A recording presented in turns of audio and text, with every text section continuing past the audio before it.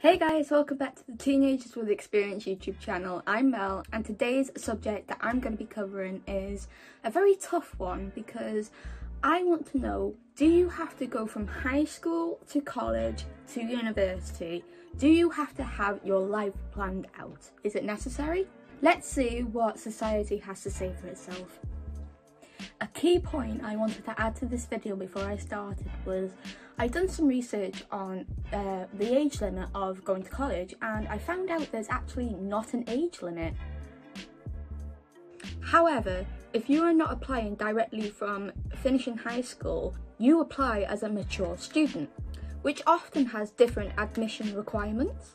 So that means that I don't have to directly apply from from high school to college because like I tried it out and it wasn't for me so now I do home studying.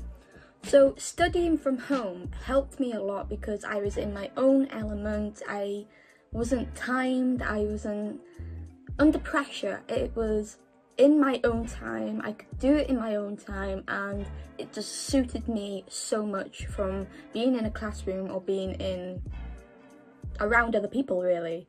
So when I was home studying, I actually enjoyed it because it was just so much easier and so much it was easier on my mental health as well because I would just was not under pressure and I just really enjoyed it. So from studying in college to doing home studying, I noticed a massive difference and it really helped me to plan out my future and not feel bad about not having a secure plan in place. But back to the subject. But does this mean I have my life planned out if I am studying from home? No, it doesn't. What I am doing is taking one step at a time in my life. I am not having a full plan in place and following it because that's not how I work. That's how some people work like that and that's great that they can plan out their life and they stick to it which is no problem at all.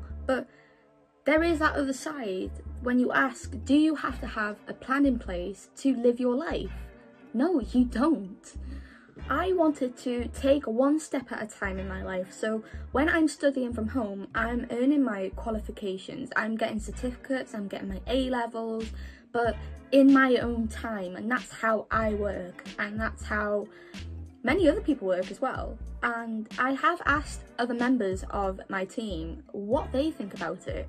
So it's a it's a tough subject really because when you have a plan in place in your life you tend to have to stick to it. And then if you go off guard you punish yourself for it. And that's not what I want to do because that's not good on my, my mental health. So like for example, I'm not meeting deadlines. I'm not like in the classroom, in college, they give you deadlines and you have to meet them and you have to be done by that deadline. And with home studying, I'm not forcing myself to meet these deadlines. This was my life, my choice, and it felt so good to have the control. I didn't want to just share my opinion or experience. So I did ask a few of my fellow members from the team what they thought as well. Mercury. Having life planned out after high school is a double-edged sword. One that I'm, in my opinion, does not have pros that outweigh that of not having a plan.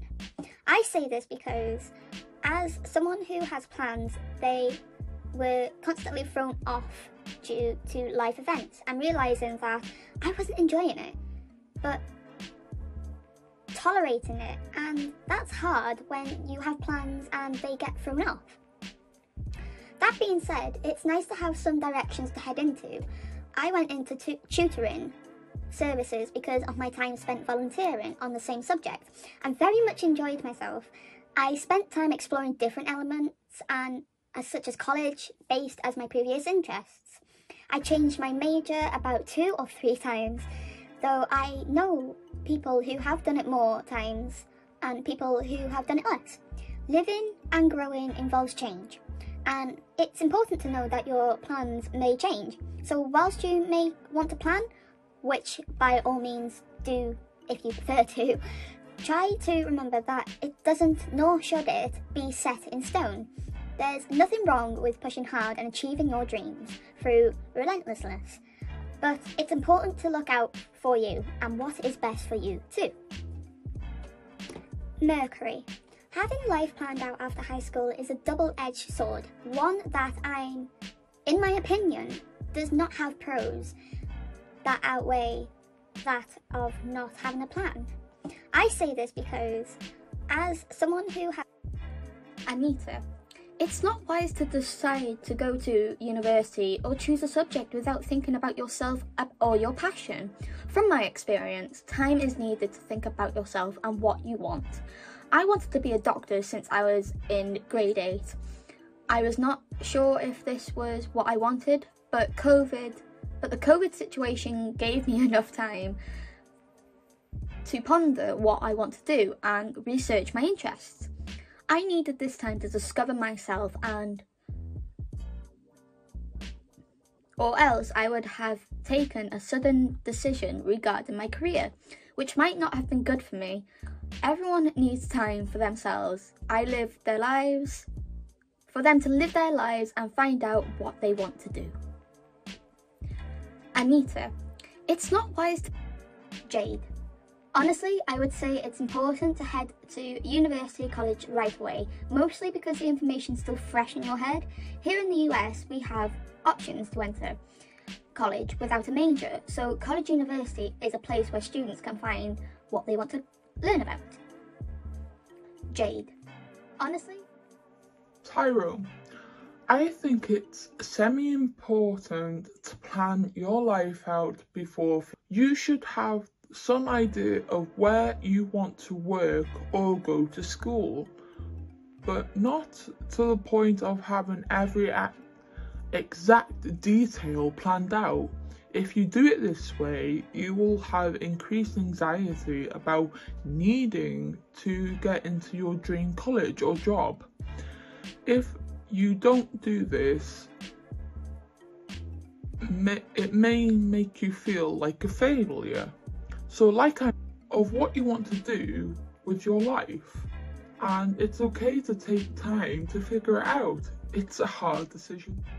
Sydney, I always thought it was a crucial it was crucial to have every aspect of your life planned out, but it's not. Life changes, things happen. Being open to change is the best advice I can give.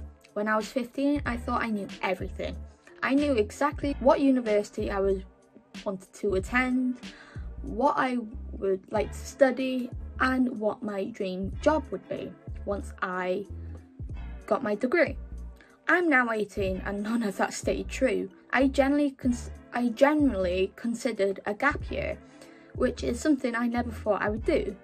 I didn't end up taking it, but it was a good option to have available. So, while it was good to consider the future and have options available, don't put so much stock in your plans that if something goes wrong, you're screwed. Know what you want to do, but don't be upset if things change. So, by hearing other people's opinions, we get to hear what's actually going on in the outside world, reminding you there is no right or wrong answer. If you choose to follow a career path then that is your choice and you go along with what you want not no one else whatever whatever suits anyone else. It's your life. You gotta live what you want. But if you're like me and you just blank out and you don't know what you want to do with your life then take it as it comes. Take one step at a time. It helps massively because if you set out a plan like i said in your life and you don't meet the deadlines and you don't meet the requirements needed for that, you're going to punish yourself, and then that's going to be hard on yourself, your mental health, and your life, really, and you're going to punish yourself. So, for me, I think I have taken the right path by taking each day as it comes. But at least I gave college a shot. I tried twice and it just wasn't for me, but at least I gave it a shot, right? So now, yes, I do spend my days at home, home studying in my own time, doing my own thing, and I am also living my life as well because I go out traveling, I do YouTube videos, and I feel like I am living my life as I want it right now because I'm taking each day as it comes and it feels like I'm not being looked down upon. Just because I'm home studying does not mean I am not earning the qualifications that people do in college because it's the same thing, just doing it from home. but also doing home studying, it has helped me to grow my confidence a lot because when I left school, it was a hard thing for me to go to college and be around other people. So my answer to the question of this video, do I have to have my life planned out, is no, you do not have. You do not have to go straight from high school to college to university. You do not have to follow that path. People are allowed to take time away from this path that they choose and they are allowed to have freedom. They are allowed to explore what they are, who they are, and explore the outside world as well, because that's what I'm currently doing.